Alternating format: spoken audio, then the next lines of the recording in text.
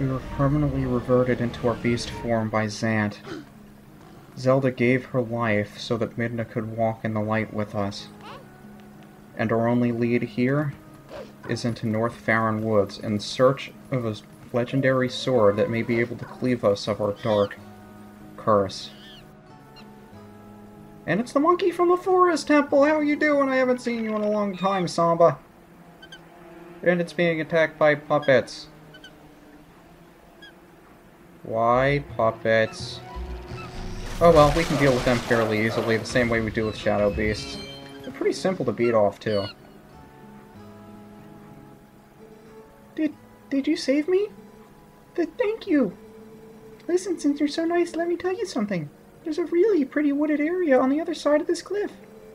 I climbed over there, but when I tried to get deeper into the woods, those guys attacked me. What's in those woods, anyway? I don't know, but I have a feeling it's worth our while to check it out. And yes, this is the area off to the left of the forest temple. It looks like it's gated off, but I'm pretty sure it's always looked that way. So there's another section of forest beyond this cliff, huh? Alright, Giant, let's go. Yeah, there's an entirely new section behind the forest temple. I mean, this has been here the entire time. We just never thought to look over here, although I don't believe you would have been able to get here if you wanted to, and these Keese will knock me off if I don't deal with them now, so I'm just going to get rid of them. We had to wait for these spinny bridges to align themselves anyway. Oh, it's almost nostalgic seeing these things again. We haven't seen them since the Forest Temple, have we? Well, by the way, guys, hello, this is Universal Giant. This is Let's Play The Legend of Zelda Twilight Princess. This is a tightrope. These are swinging logs. This is platforming without jumping. This is another platform, and this is a Howling Stone.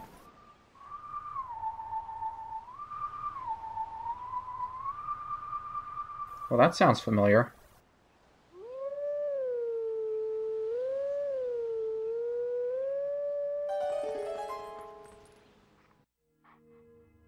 I tell you what, the Howling Stone's bringing back all of these fond memories. Probably my most underrated favorite part of this game. Don't remember too much about it, but what little I do,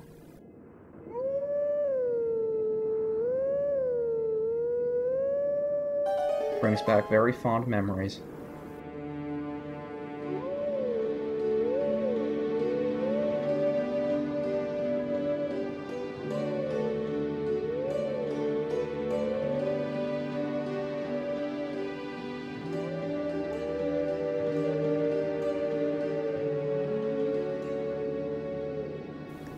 Prelude of Light from Ocarina of Time. Let teachings of old pass to you. Take sword in hand and find me. Remember when we used the Prelude of Light for an Ocarina of Time? Yeah, that's actually significant here, but you can see the Hero Shade is in South Hyrule Field, which we can only access, at, at least for now anyway, from Castletown. And we're not near Castletown, so he'll just be sitting there for a while. Not in any hurry to get his new uh, technique either. Not that it isn't useful, but I just don't use it as often as I probably should. The Sacred Grove. And if we listen too long, we'll be able to hear a very familiar theme. But first, notice this Howling Stone with the Triforce symbol on it.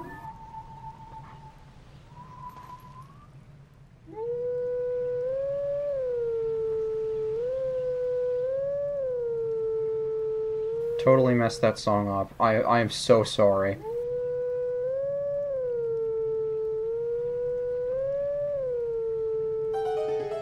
I pride myself in always getting this song right.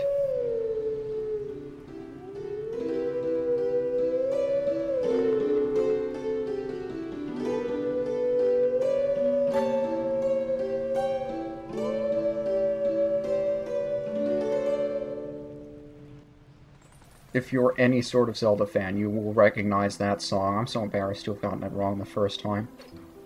Because once I played this through, I've heard that song, I never forgot it. And every time I'd get to this point, I would just skip the Howling tutorial and go straight for the song. And yes, that is indeed a Skull Kid. Whether or not it is the same Skull Kid as the Skull Kid from Ocarina of Time and Majora's Mask, or if those two are even the same as the Skull Kid. Oh, who cares. He's going to be sending down those puppets infinitely. So really the only way to get rid of them permanently is to track down the Skull Kid himself, who's somewhere. And I just like to get rid of these guys the, as soon as they spawn because that's when they're most vulnerable in that they'll just come straight towards you and they won't attack you until you give them a little bit of time. Where's the hole? Did we come through here? Am I lost already? Jeez, a wooded area where I'm easily lost. And a skull kid to boot. Well, I wonder what this area is supposed to be a reference to, but we'll hold off on that for now. Just go after the skull kid. What instrument is that, by the way? It sounds sort of like a horn. Is it like a horny hornet? Did I did I almost call it a horny kazoo? What is wrong with me? We still have to chase the guy down, though. Sticking to what I said, let's get rid of the puppets while they're most vulnerable so they don't start attacking me, but it's up to you whether or not you want to do that. You can almost outrun them for the most part, but it eventually just gets to the point where it's too annoying to bother, and you just go chasing after them anyway. Yeah, this looks like the area he'll be. If you listen closely, you can even hear him summoning them. And hear him playing his horn up there. So that's your indication that he is in this room and not a different room. So let's just get him here. And we hit the wall in the cutscene, even though we were invisible during the cutscene, so sparks flew up from where we hit the wall, even though we weren't actually there. I've never seen that before. And now the camera's stuck up against a wall. Can these guys swim? Apparently they can. That's news to me. Wooden puppets can swim. But each time you go through the area, each time you hit the Skull Kid, he changes around where the walls are. So he'll open up new areas and close off old ones, making this place really difficult to get around. It'd be really nice if we had a map of this area, wouldn't it? And I hear him up there, but we can't get up there from here we actually have to go into another room! And go up the stairs in the other room! Oh my goodness, the thinking involved in such a puzzle! But yeah, the Skull Kid's just right up here. I wonder if I can jump right off here. Did you see me hit the ground in the sky? I wonder where I'm going to drop. Am I going to drop off the ledge, or am I still going to be on the ledge?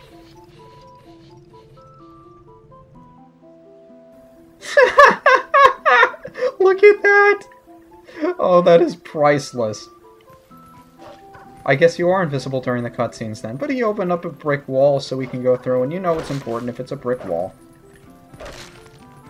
I don't need the health. Why does this game give me health when I don't need it? And one rupee away from max, but once we jump down here, we're not getting back up anytime soon, so just be prepared. The showdown with the Skull Kid.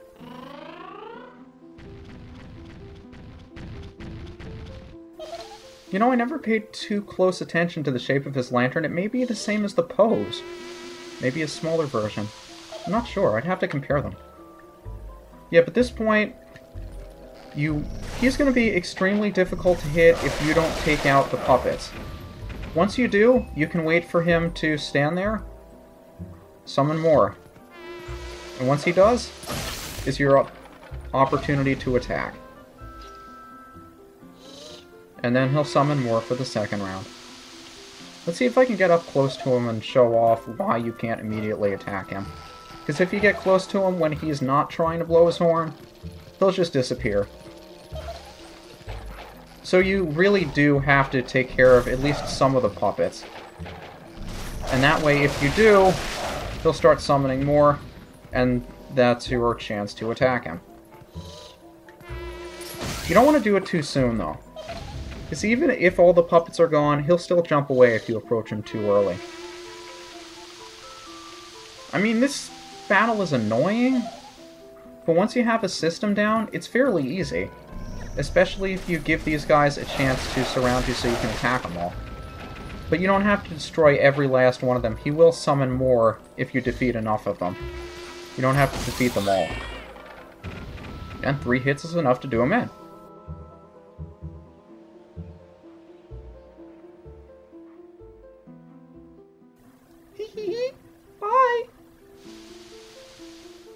He opens up the way out. But this isn't the way we came in. This is an entirely new way out. Well, this is an interesting location.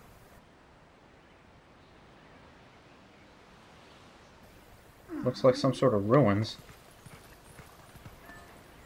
I see a Triforce in the ground and assembled a Howl. Gee, I wonder what we should do.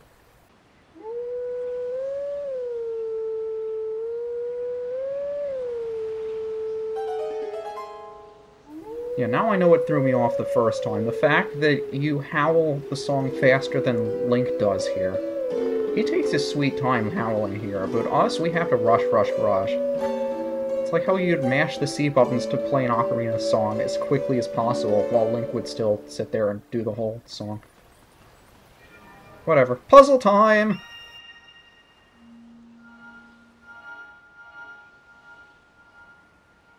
Yeah, this definitely surprised me the first time I got here. Never expected to see something as weird as this. The statues come to life and they give us tiny little platforms to jump on. We are guardians of this land. Guide us to where we once stood. Only then can you enter the true sacred grove. And the objective here is to get these two statues onto those two yellow tiles where they were before. The trick here is that one will always face in the same direction as you, one will face in the opposite direction. Now what I aim to do here is get both of them into opposite corners on the top part of the screen, the little 5x3 section. And it's difficult to explain how I do that because I never really go about this the same way, I just fool around until something works. But a couple of funny things I want to show off. Don't jump to the same square a statue's going to jump to. You don't get any funny sound effects or smashing, but just the fact that Link may have just been squashed by a giant statue is pretty amusing. But yeah, I... So you see I have the left statue in the bottom left-hand corner there. I try to get the other statue in the opposite corner. And this gets annoying pretty quickly. I don't know how long it takes you guys to do this puzzle when you get to it in this game, but it always gives me problems. You can't jump to the same platform the statue's on either. Let's see, how should we go about doing this? I guess we'll try to get one in the appropriate spot. I think this way the one on the bottom will chase us, but I'll also bring the top one down too. Well, at least this way we can separate them an odd number of spaces. Maybe we can bring this guy over? How does that help, though? No, that doesn't help in the least. Will he jump behind me? I don't want to take that chance. I don't think I want to do that. Well, I guess we have to if we want to get out of this puzzle. Yeah, he does. Okay. That's good to know. They'll also not jump into each other. I might as well show that off. Uh, is it worth it? Yeah, it's worth it. Yeah, they won't jump into each other. So let's see. I think what I want to do is separate these two enough and give myself four spaces here so that the one on the right will jump down four spaces with me. And I believe this way I can get the one on the right into the top right corner. And once we do that, we have this puzzle solved. Yeah, right there. So now all we have to do is get these guys to go two spaces. And there we go, puzzle solved. That's a lot faster than I expected it to be. It's silly that that's all we have to do to gain access to such a legendary treasure as the Master Sword, but uh, I guess other people wouldn't be able to solve the puzzle or something. Go now to the sacred place, beast. We yield passage to the sacred grove. So, all it takes to become a legendary hero is solve a simple puzzle. Good to know, I guess. But there it is. Actually, there's a Hylian inscription on there, isn't there? Really difficult to make out. I wonder if anybody's ever translated that. I can barely read it.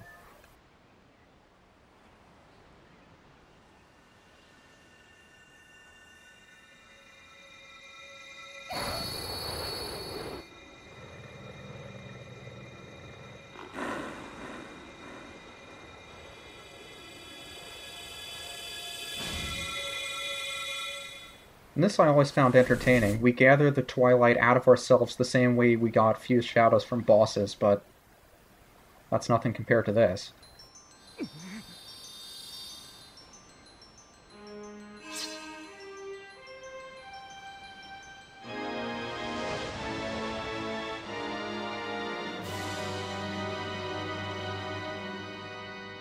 Okay, I take that back. That was kind of cliche and expected. I, I'm more interested in the Twilight thingy.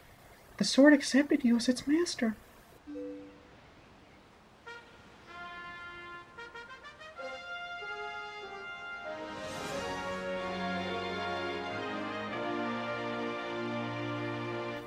Did the game ever really explain the legend behind the Master Sword, or they just said, Oh, it's magical, go get it! Although I guess they assume we know about it already. This thing is the embodiment of the evil magic that Zant cast on you. It's definitely different from our tribe's shadow magic.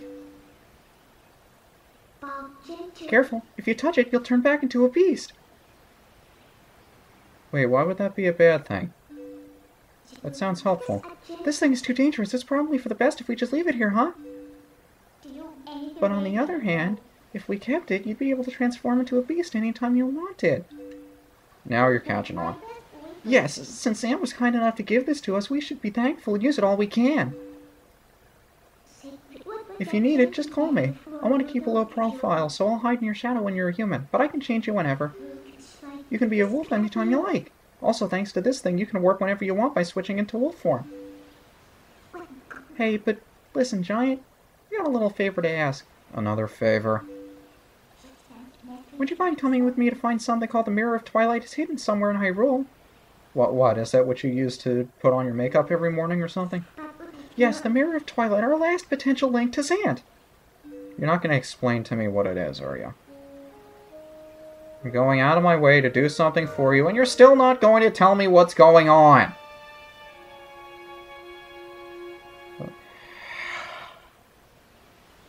Oh well, we have the Master Sword now. I guess that's all that matters. But before we leave the Sacred Grove, there is one little thing we want to take care of. And that is heading into this little crevice on the left side, turning immediately around and grabbing ourselves another golden bug. The male snail. Remember where it was. We will be getting the female snail in the exact same location later on. What do I mean by that? The same thing I mean by remember where this chest was. Oh, I love being so confusing to anybody who's never played this game before, which is probably a whopping none of you.